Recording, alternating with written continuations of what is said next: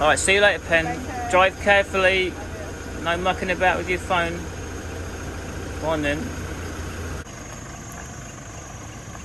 Right, there goes Pen. She's just off to town to get some stuff. We've got look. We've got a chap in. Look, he's doing this the guttering. See that stuff like stainless steel guttering. And he's he's started a fire over there. I think he's doing like some soldering or something, welding or something. Bung Bung. He's staying here with me. So it's still raining a lot. Um, though not so much the last few days, a bit less. But yeah, I'm glad we're putting the gutters up. It does, I think it's a good idea. So around this side, you can see the gutter is half installed. That's what it looks like. It is quite big, uh, quite large size. So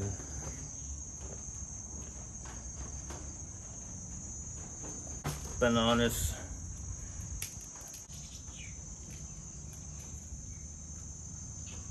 They're too small, they're tiny. Anyway, so yeah, while Pen's out, well, we've got these avocados here. So Pen ordered these off the internet. We've got these three avocado trees, I guess they are, aren't they? Right, I think I've got everything I need in there.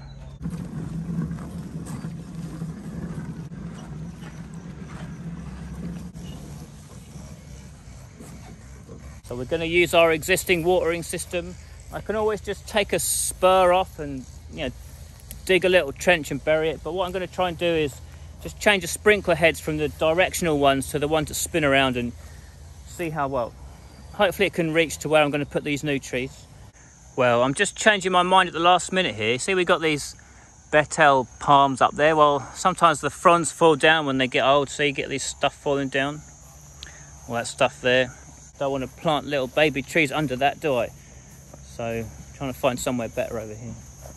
See, we put these new durian in recently. Well, yeah, this one's already been clobbered by, I think, off that one up there, even though it's not directly above it. But yeah, anyway, I'm going to put them along here. I think it's a little bit, a little bit further away from the things above them. Bung, bung. What are you doing? You're a naughty dog. Barking. So this is what the gutters look like. They're stainless steel and um, just, I don't know, welded together, brazed together. I'm not sure what the word is. So that's about eight inches across. Yeah, I have decided to do all four sides and then I'm going to have four down pipes, like one at each corner. Just get the water out into the farm basically and then once it hits here, sort of deal with it here, maybe dig channels or something. And yeah, they are putting like a slight slope on the gutter. It's like, like a, where the ladder is there in the middle, it's like a high point and then it slopes down towards each corner. Let's get these sprinklers turned on and we can see where we're going to plant those avocados.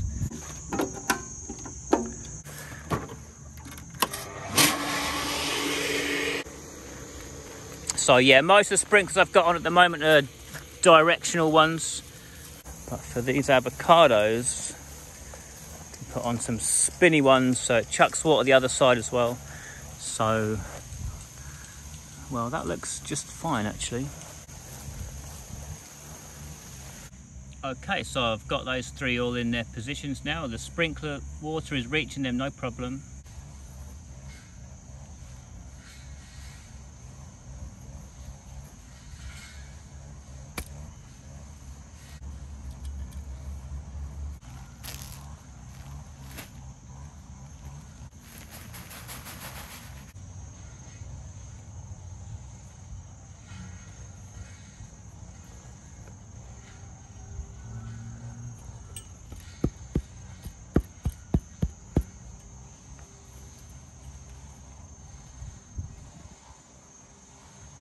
So I get the height about right, slightly higher rather than slightly lower. And the only thing you want to do is check that it's not become root bound inside this. Take this off carefully and just see if the roots are like circling each other and if they are, cut them off. So it doesn't look too bad. You can see the root down the bottom there's already been cut. It looks like it's cut quite recently. So You have to be a bit careful of this because sometimes these things can fall apart quite easily, but you can see some of the roots are growing in circles there. I don't really want that. But this one's not too bad, to be honest. You, you see a lot worse than this. Um, maybe I'll just try and straighten them out a little bit. I mean, just what you don't want is you, you don't want to put it in the ground with the roots circling each other because over time they can grow in a circle and choke like the nutrients off. They like the, the trees can choke themselves. So yeah, that's one thing you do want to check for. You don't want the roots growing around each other. If you're ever even planting one tree or a lot of trees, I would suggest do this job yourself because the people, if you pay someone else to do it, you'll you can't trust that they did it properly and, and check them properly. And well, when we get a tree die, I'm never 100% of the reason, but I'm sure a lot of the time it's because the roots are growing in a circle. I've dug some of them up and I've, I've seen it with my own eyes, and I think that's because we've paid other people in the past to plant trees and we just don't think they did it properly. So pick up the plastic rubbish. And that's another thing, if you pay other people to do this, they're going to leave plastic all over your farm as well. They, they just chuck litter everywhere, so do it yourself is best.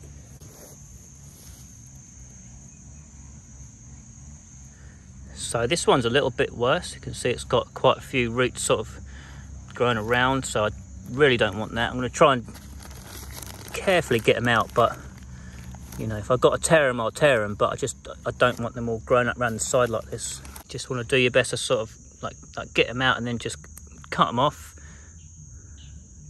Try not to tear them, but if you, if you have to, you have to. Trying not to have this thing fall to pieces on you, but it often will. That's why I, I lie it down on its side, try and keep it in one piece as best as I can. Um, just, just trim off some of these there they'll grow back. So, so those two guys are getting the gutter up on there now. That's good. Also over here today, the grass cutters are in as well. That's why the grass is nice and short here now. I'm filming this on their lunch break, so it's nice and quiet at the moment. Hopefully they'll give me another 10 minutes before they start up their machines. So those three are in. With a bit of luck, they don't get clobbered by something from above. In about three or four years time, we should have some avocados.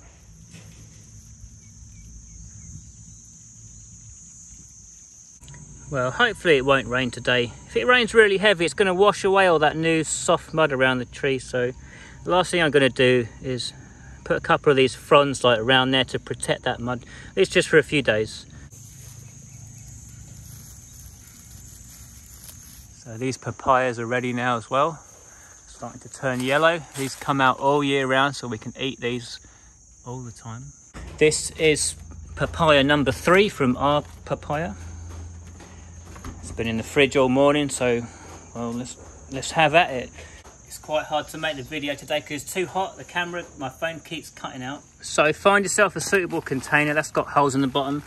Uh, Pen was also thinking about using this, so yeah, you can use whatever and then just a bit of soil and well chuck the seeds in I suppose.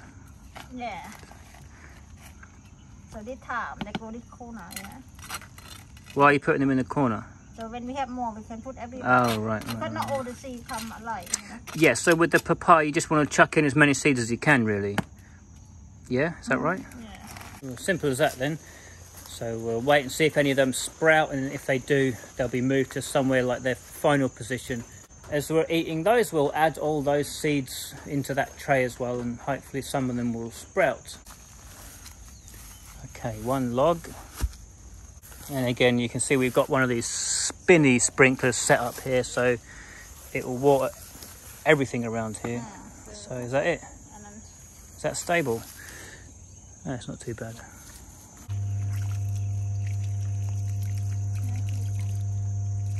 Okay, thank you for the demonstration. They're doing that section over there where I was putting the avocados before. So they come once a month and then after they're done we'll go around and we'll put the vitamins on the trees. So we do ask other people sometimes, you know, what vitamins are you using and then, well, if we can find it, we'll try it out. Someone recommended this to us. Um, as I was saying, we, we don't favour anything in particular, we're just going to buy whatever. I think actually we've probably had the best results with cow manure, so that's why I'm keen to get hold of that again.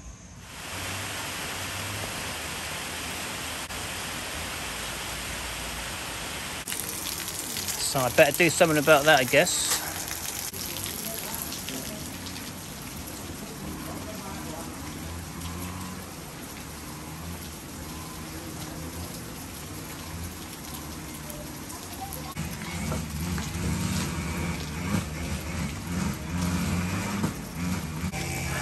Well, it's only spitting a little bit at the moment, but yeah, just in case it starts to piss it down, you never know.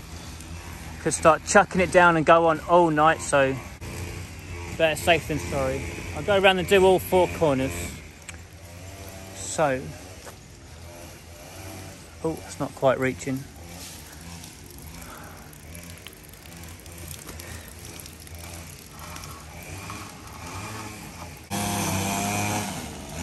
So yeah, I'm going to try and get the water out into the floor and then dig channels away maybe.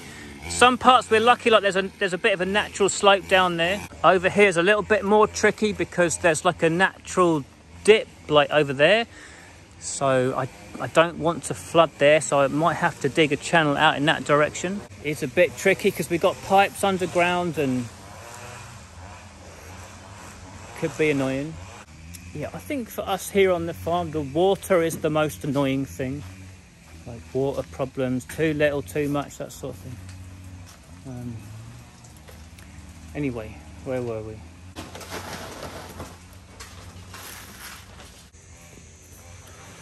So you'll have to forgive the noise, grass cutters and whatever. I can't help that today, but um, but yeah, basically you want to get yourself a measuring device. Don't try and do it by hand.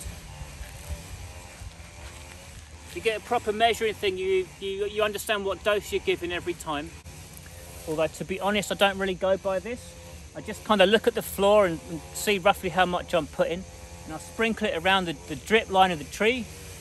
So for this tree, that's about here, yeah? So round about in this area, all the way around the tree, just giving it a nice sprinkling.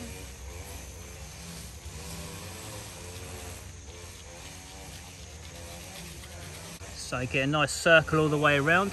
Obviously the bigger the tree, the bigger the circle. Well, the idea is that you put the vitamins, you know, a bit further out to encourage the tree to grow its roots outwards in search of the nutrients.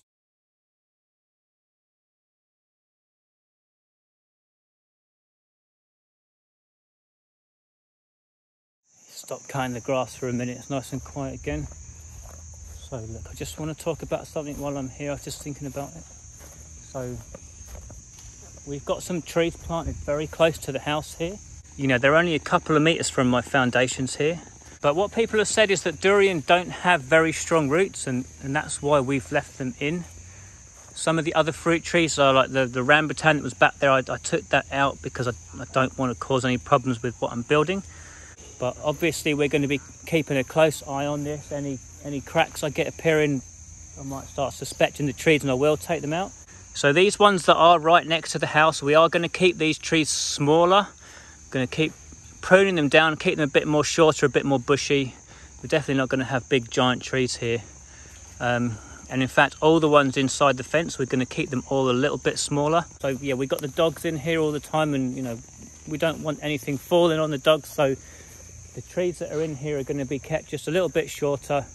Perhaps, you know, when when they do have fruit, we'll we'll let them fruit on the lower branches. We won't have durian 10 meters above our heads like in our garden. The ones outside the fence, we'll, we'll let them get a little bit bigger.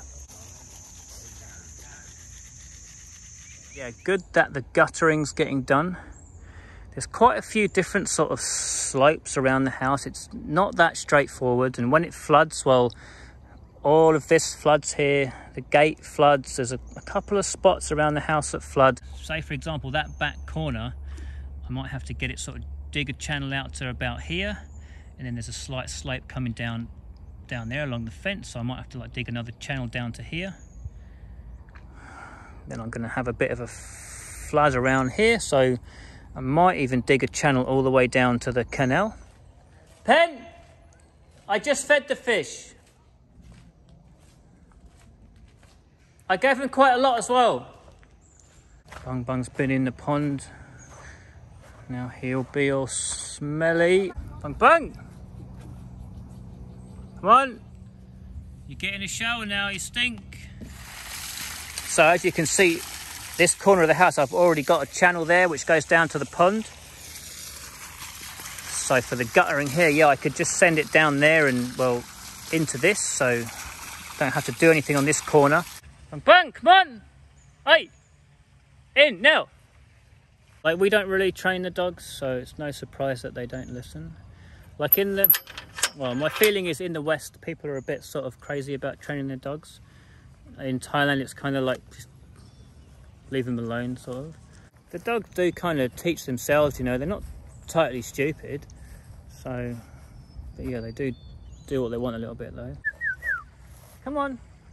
Hey, come on. Maybe if I run after him, he'll think it's a game and try and play. But I don't want to pick him up because he's covered in pond water. Maybe that's part of his plan. Maybe he is clever. Hey! Bang bang! Get in right now. Good. So this is your consequences, Bung Bung. Go in the pond, you get sprayed with the big hose. Bung Bung is really terrible. Like, wherever you want to take him on the lead, he'll always fight and always, always do the opposite. It's really strange. Wrap the lead around his legs and he'll drag his legs behind all the time. It's terrible. Ridiculous. I don't know whether it's sometimes we think sometimes we think it's because he wants to be picked up, isn't it? So yeah, sometimes we think it's because he he wants that, but it looks like he's having a good time now. Come on, let's go. Come on.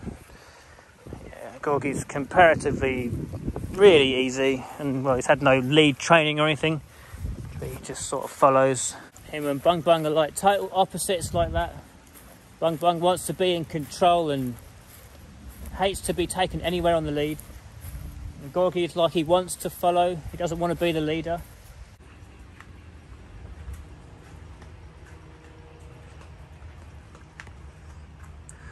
To get all that pond water off you, Bung Bung, you smelly? Yeah, it started raining a bit heavier now. Hopefully my makeshift gutters are holding up okay. So that's the market there in front of us. Pen's to pop in there now and find us some dinner. Right, there goes Pen with a green umbrella. So I'm just to wait here with the dogs. They're both sleeping. Right, Pen's back.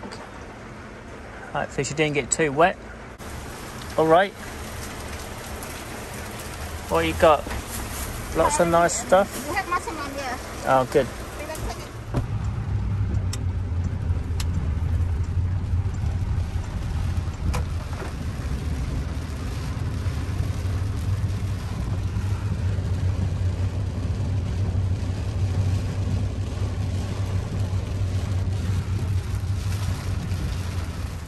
Okay, so what did you find in the market? So I've got a massaman curry. What else have we got? Vegetable with egg, and I have pig curry. Oh, what's that? That's what is for the dog. Ah, all right. Yeah, I'm looking forward to this massaman. I haven't had one for a few months.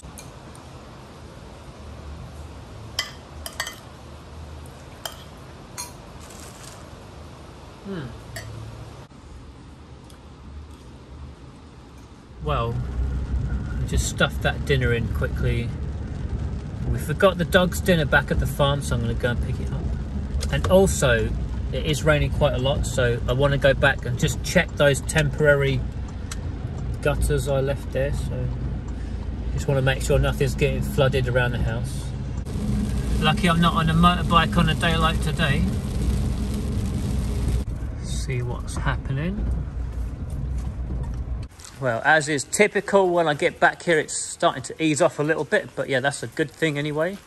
Ah, well, lucky I did come back because the sheet's blown off in the wind. To sort that out, just in case it pisses it down tonight or something. Well, I've got all those fixed up more or less. That was really annoying trying to get it all to balance, but at the same time weigh it down so it doesn't blow away in the wind. Hopefully it'll stop raining anyway. So hopefully it's all in vain anyway. This is all really annoying, really stressful. You know, walking around the farm like doing the trees, putting the vitamins out is, is really nice. It's, it's relaxing and enjoyable. The bad side of it is the rain. The rain is really annoying and well, building a house is it's not fun at all. I don't like it. Um, anyway, hopefully that's all right until tomorrow. Dog's dinner. Come on then, Gorgie. Let's go back to the hotel. Well, I'm back over at the hotel now. Bung Bung is fed and asleep down there. That's where he sleeps. Pen is fed and on the iPad, that's what she does. Gorgie is chewing his bone. He'll chew that all night sometimes. Sometimes till like one in the morning and we've got to take it off him. I bought a packet of cigarettes recently, so I've been having one a day like after dinner. Normally I don't smoke, but um, I don't know. I think like one a day is okay, sort of thing. It's the house is too stressful, so it's just like freaking me out. So I just need like five minutes to to chill out. Been about eight years since I've been drinking and smoking, really. So it is pretty rare for me to do this. Anyway, that'll probably be it for the video. So uh, see you later.